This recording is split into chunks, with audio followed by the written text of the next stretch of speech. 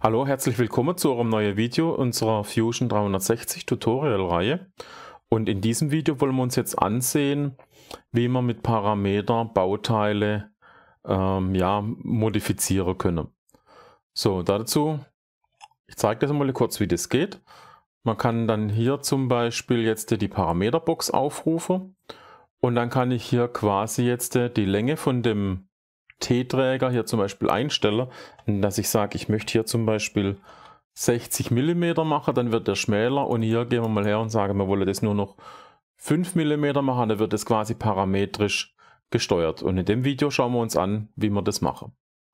So, machen wir mal eine neue Konstruktion. Neue Konstruktion. Fangen wir wie gehabt immer mit der Skizze an. Ich mache es jetzt hier mal einfach mit zwei Rechtecke oder mit einem Rechteck. So, ziehe hier eine Linie. Mal von der Mitte. Wenn wir sehen hier, wenn das Dreieck hier erscheint, haben wir genau die Mittellinie erreicht. Dann markieren wir mal die Linie, drücke die Taste X, damit wir hier quasi eine Symmetrielinie haben. Dann machen wir mal hier unsere Ausbuchtung für den T-Träger.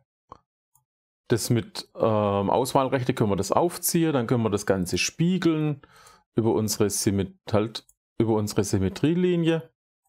So, wenn das nach unten gespiegelt ist, fangen wir mal an mit Trimmer. Erste Linie raus, zweite Linie raus, hier unten auch noch.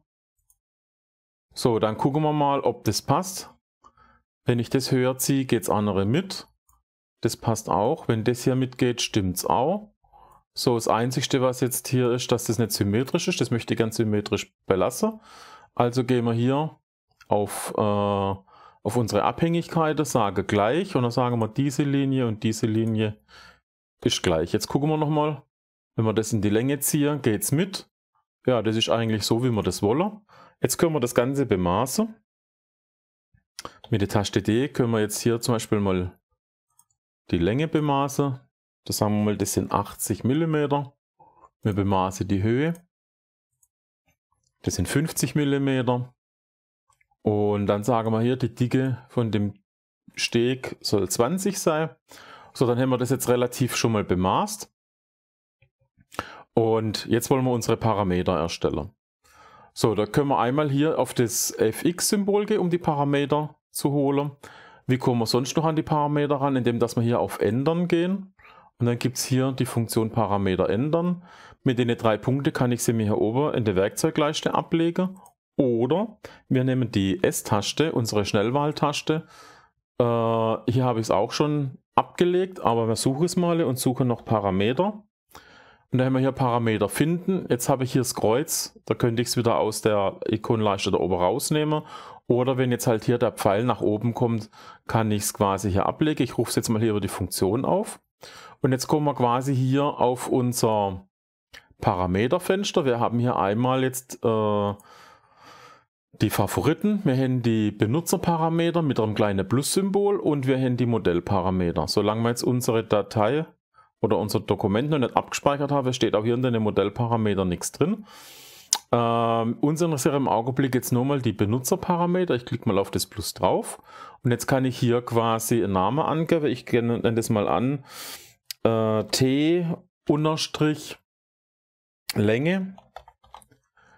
So, äh, man muss hier aufpassen, es gehen nicht alle Namen, also zum Beispiel Minus und so weiter, geht nicht.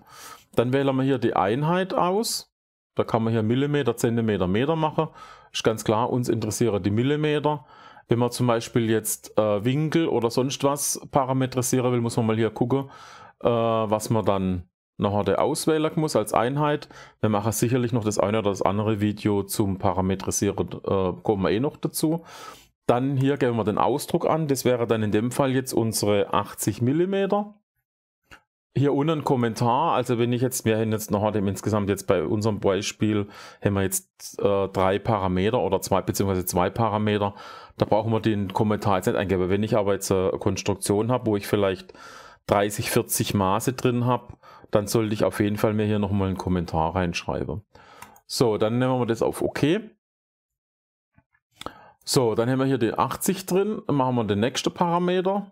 Das wäre dann äh, das T-Träger Breite. So, wieder Millimeter, dann machen wir mal 40. Okay, jetzt gucken wir mal. Ja, wir können hier die Profiltiefe machen wir auch noch. Also machen wir nochmal einen Benutzerparameter, das ist dann T äh, Nut oder Steg. So, dann machen wir auf 20. Geben wir das Maß ein. Jetzt klicke ich mal alle drei hier an als Favorit. Das heißt, äh, sie erscheinen hier oben in den Favoriten. Ich kann dann, wenn ich zum Beispiel jetzt ein Bauteil habe, äh, kann ich mir dann die wichtigste Maße hier als, als Favorit einlegen. Dann komme ich hier am schnellsten ran. So, jetzt haben wir unsere Parameter erstellt und jetzt können wir hier zum Beispiel auf die Maßlinie klicken und dann kann ich mir hier auswählen, zum Beispiel die T-Dicke, wobei das jetzt nicht passt. Ich wähle dann einfach mal aus, schreibe mal hier rein T unterstrich und jetzt kommt hier die T-Länge, übernehme die, mit Return übernehmen, dann steht hier drin fx80. Wenn ich jetzt hier das wieder anklicke, T, dann machen wir hier die T-Breite, übernehmen. Wir sehen schon, das Maß wurde angepasst und hier wählen wir aus T äh, Steg. So. Und jetzt haben wir hier quasi unsere Skizze fertig. Mit Taste E extrudieren wir das einmal. So. Okay. Und jetzt rufe ich hier nochmal meine Parameterbox auf. Und jetzt sage ich, okay, gut, ich möchte hier keine 80 haben, sondern 100. Und dann geht es automatisch mit. Wichtig, dass es natürlich so schön wie hier jetzt funktioniert ist.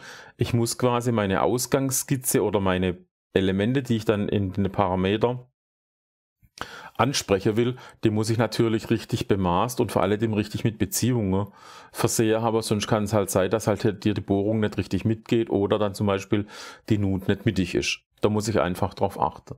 Aber hier auf die Art und Weise kann ich jetzt halt sehr schnell Änderungen einmal an meinem Modell vornehmen. Wenn ich das jetzt halt von Hand ändern müsste, müsste ich jedes Mal hier in die Skizze reingehen, Skizze bearbeiten, dann hier die entsprechende Maße anklicken. So kann ich praktisch mit wenig, mit wenig Steuermaße dann nachher das komplette Bauteil anpassen. Wir werden die Funktion Parameter oder die Möglichkeit mit Parametrisierung sicherlich noch öfters ansehen. Deswegen viel Spaß mal beim ersten Ausprobieren und bis zum nächsten Video.